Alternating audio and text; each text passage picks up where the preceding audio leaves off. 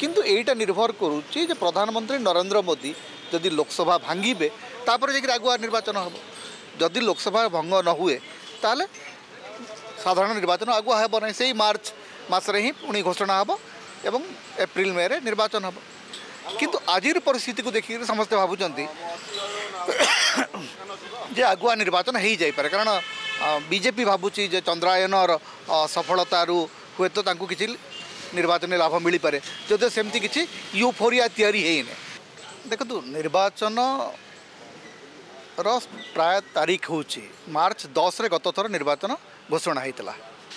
से दृष्टि देखिले मार्च मस बेलू मार्च एप्रिल मे यही समय निर्वाचन होते भारत में प्रचंड ग्रीष्म उत्ताप जारी रोच जहाँफल कैंपेन भी आहत हो तेणुता दुईमास पूर्व घुंचे आणले किसी असुविधा ना କିନ୍ତୁ ଆପଣ ଦେଖିବେ ଦୁଇ ହଜାର ଉଣେଇଶ ନିର୍ବାଚନ ପୂର୍ବରୁ ମଧ୍ୟ ଯେତେବେଳେ ଦୁଇ ହଜାର ଉଣେଇଶ ନିର୍ବାଚନ ପୂର୍ବରୁ ଏ ଠିକ୍ ଏହି ସମୟରେ ସବୁଆଡ଼େ ଗୋଟେ ଚର୍ଚ୍ଚା ଚାଲିଥିଲା ଯେ ବୋଧେ ଆଗୁଆ ନିର୍ବାଚନ ହେଇପାରେ ନଭେମ୍ବର ଡିସେମ୍ବରରେ ନିର୍ବାଚନ ହେଇଯାଇପାରେ ତାର ଆଉ ଗୋଟେ କାରଣ ହୁଏ ସବୁବେଳେ ଯେ ସେହି ସମୟରେ ନଭେମ୍ବର ଡିସେମ୍ବର ବେଳକୁ ପାଞ୍ଚଟି ରାଜ୍ୟରେ ବିଧାନସଭା ନିର୍ବାଚନ ଅନୁଷ୍ଠିତ ହୋଇଥାଏ ମଧ୍ୟପ୍ରଦେଶ ଛତିଶଗଡ଼ ରାଜସ୍ଥାନ ମିଜୋରାମ ଏବଂ ତେଲେଙ୍ଗାନା ପୂର୍ବରୁ ଚାରିଟା ହେଉଥିଲା କିନ୍ତୁ ଗତ ଥର ଯେହେତୁ ତେଲେଙ୍ଗାନା ବିଧାନସଭା ଭଙ୍ଗ କରିଦେଲେ ତାଙ୍କର ମୁଖ୍ୟମନ୍ତ୍ରୀ ତେଲେଙ୍ଗାନା ମଧ୍ୟ ସେଥିରେ ସାମିଲ ହୋଇଗଲା ତେଣୁ ପାଞ୍ଚଟା ରାଜ୍ୟର ବିଧାନସଭା ସହିତ ଲୋକସଭା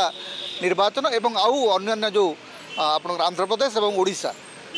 ଏହିସବୁ ନିର୍ବାଚନକୁ ମିଶିକରି କରିଦେବା ପାଇଁ ସମସ୍ତେ ଚାହାନ୍ତି କିନ୍ତୁ ଏଇଟା ନିର୍ଭର କରୁଛି ଯେ ପ୍ରଧାନମନ୍ତ୍ରୀ ନରେନ୍ଦ୍ର ମୋଦି ଯଦି ଲୋକସଭା ଭାଙ୍ଗିବେ ତାପରେ ଯାଇକି ଆଗୁଆ ନିର୍ବାଚନ ହେବ ଯଦି ଲୋକସଭା ଭଙ୍ଗ ନ ହୁଏ ତାହେଲେ ସାଧାରଣ ନିର୍ବାଚନ ଆଗୁଆ ହେବ ନାହିଁ ସେଇ ମାର୍ଚ୍ଚ ମାସରେ ହିଁ ପୁଣି ଘୋଷଣା ହେବ ଏବଂ ଏପ୍ରିଲ ମେରେ ନିର୍ବାଚନ ହେବ କିନ୍ତୁ ଆଜିର ପରିସ୍ଥିତିକୁ ଦେଖିକି ସମସ୍ତେ ଭାବୁଛନ୍ତି ଯେ ଆଗୁଆ ନିର୍ବାଚନ ହୋଇଯାଇପାରେ କାରଣ ବିଜେପି ଭାବୁଛି ଯେ ଚନ୍ଦ୍ରାୟନର ସଫଳତାରୁ ହୁଏତ ତାଙ୍କୁ କିଛି ନିର୍ବାଚନୀ ଲାଭ ମିଳିପାରେ ଯଦିଓ ସେମିତି କିଛି ୟୁଫୋରିଆ ତିଆରି ହେଇନି ଏବଂ ମଧ୍ୟପ୍ରଦେଶ ରାଜସ୍ଥାନ ଏବଂ ଛତିଶଗଡ଼ରେ ବିଜେପିର ସ୍ଥିତି ଯାହା ଅଛି ତାକୁ ଦେଖିକରି ଯେ ଆଗୁଆ ନିର୍ବାଚନ ହେବ ସେମିତି ସିଚୁଏସନ୍ ଅନ୍ତତଃ ବର୍ତ୍ତମାନ ଜଣାପଡ଼ୁନାହିଁ ଏବଂ ଓଡ଼ିଶାରେ ମଧ୍ୟ ୟାକୁ ନେଇକରି ବହୁତ ଚର୍ଚ୍ଚା ଚାଲିଛି ଯେ ମଧ୍ୟପ୍ରଦେଶ ଛତିଶଗଡ଼ ସାଙ୍ଗରେ ଓଡ଼ିଶା ନିର୍ବାଚନ କରିବା ପାଇଁ ହୁଏତ ବିଜୁଡ଼ି ପ୍ରସ୍ତୁତ ହେଉଛି ବୋଲିକରି ଗୋଟେ ଗୁଞ୍ଜରଣ ଗୁଞ୍ଜରଣ ନୁହଁ ସେଇଟା ଗୋଟେ ବର୍ତ୍ତମାନ ପୁରା ସିଧାସଳଖ ବିଭିନ୍ନ ଗଣମାଧ୍ୟମରେ ତାକୁ ନେଇକି ଅଧିକ ଚର୍ଚ୍ଚା ବି ଆରମ୍ଭ ହୋଇଗଲାଣି ଏବଂ କିଛି ସାମ୍ବାଦିକ ତ ପୁରା ସିଓର ଯେ ସେପ୍ଟେମ୍ବର ଶେଷ ସୁଦ୍ଧା ନବୀନ ପଟ୍ଟନାୟକ ବିଧାନସଭା ଭାଙ୍ଗିବେ ଏବଂ ଡିସେମ୍ବର ବେଳକୁ ବିଧାନସଭା ନିର୍ବାଚନ ହେବ কিন্তু পূর্বর নবীন পট্টনাকর গোটে স্টাণ্ড রয়েছে যে লোকসভা এবং বিধানসভা নির্বাচন একা সাংরে হব এইটা তাঁর গোটে অফিসিয়াল স্টাণ্ড রহি আসছে সে স্টাণ্ড হয়তো বদলাই পারে কিন্তু বর্তমান পর্যন্ত যে সিচুয়েসন অছি সেথিরে হব না যে আগুয়া নির্বাচন হচ্ছে কিন্তু যদি মুখ্য যদি প্রধানমন্ত্রী ইয়াকে বদলাই দিকে প্রধানমন্ত্রী যদি লোকসভা ভঙ্গ করতে তাহলে ডিসেম্বরে সাধারণ নির্বাচন হব এবং ওড়শা বিধানসভার মধ্য নির্বাচন হব কিন্তু ସେମିତି ପୃଷ୍ଠଭୂମି ତିଆରି ହେଲା ଭଳିଆ ଲାଗୁଛି କି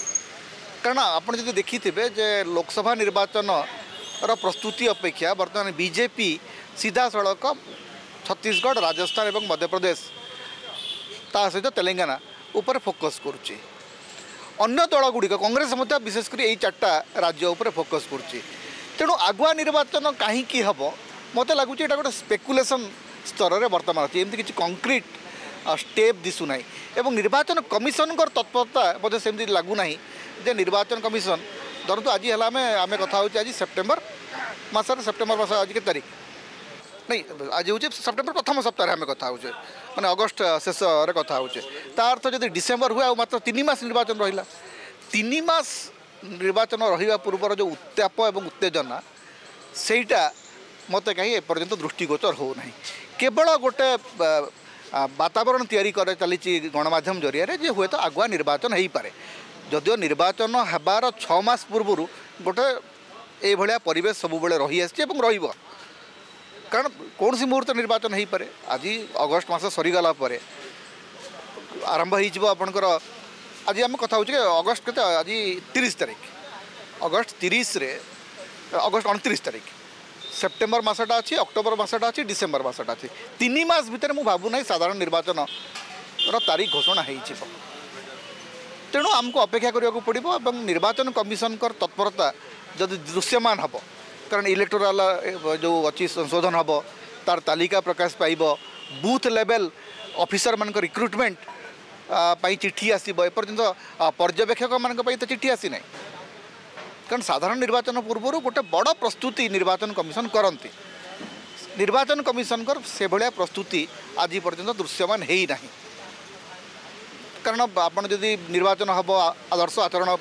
विधि लागू हम तेणुता पूर्व एडिशनाल बजेट प्रस्तुत होगा दरकार राज्य एवं केन्द्र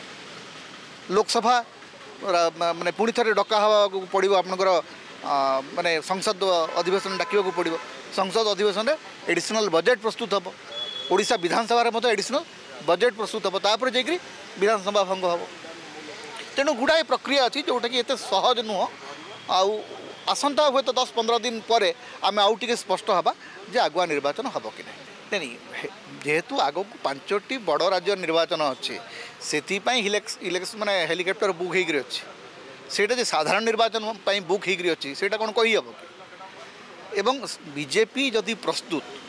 তাহলে ବିଜେପିର ଯେଉଁ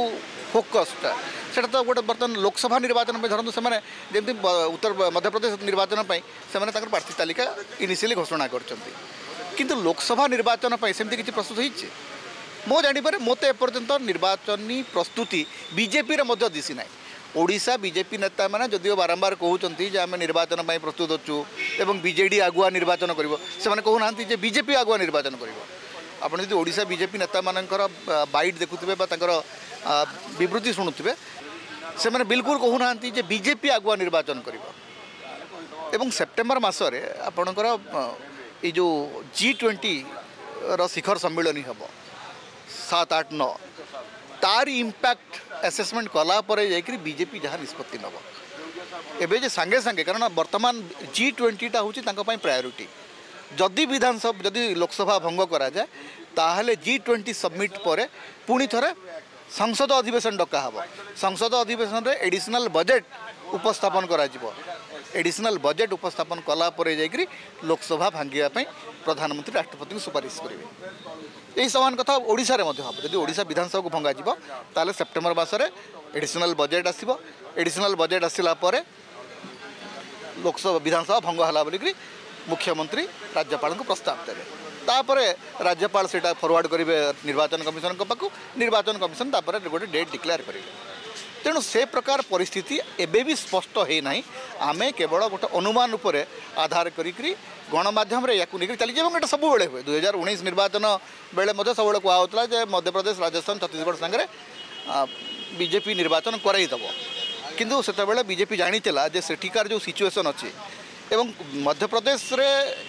ରାଜସ୍ଥାନରେ ଛତିଶଗଡ଼ରେ ବିଜେପିର ସ୍ଥିତି ଯାହା ସେଥିରେ ସେମାନେ ଯେ ଆଗୁଆ ନିର୍ବାଚନ ପାଇଁ ପ୍ରସ୍ତୁତ ଏଇଟା ଅନ୍ତତଃ ମାନେ ମୁଁ ମାନିବାକୁ ପ୍ରସ୍ତୁତ ନୁହଁ କାରଣ ମଧ୍ୟପ୍ରଦେଶ ଏବଂ ଛତିଶଗଡ଼ରେ ବିଜେପି ଜିତିବାର ସମ୍ଭାବନା ବହୁତ ବହୁତ କମ୍ ତେଣୁ ସେଇ ସ୍ଥିତିରେ ସେମାନେ ଆଗୁଆ ନିର୍ବାଚନକୁ ଯିବେ ଏଇଭଳିଆ ସ୍ଥିତି ଅନ୍ତତଃ ମୁଁ ଦେଖୁନାହିଁ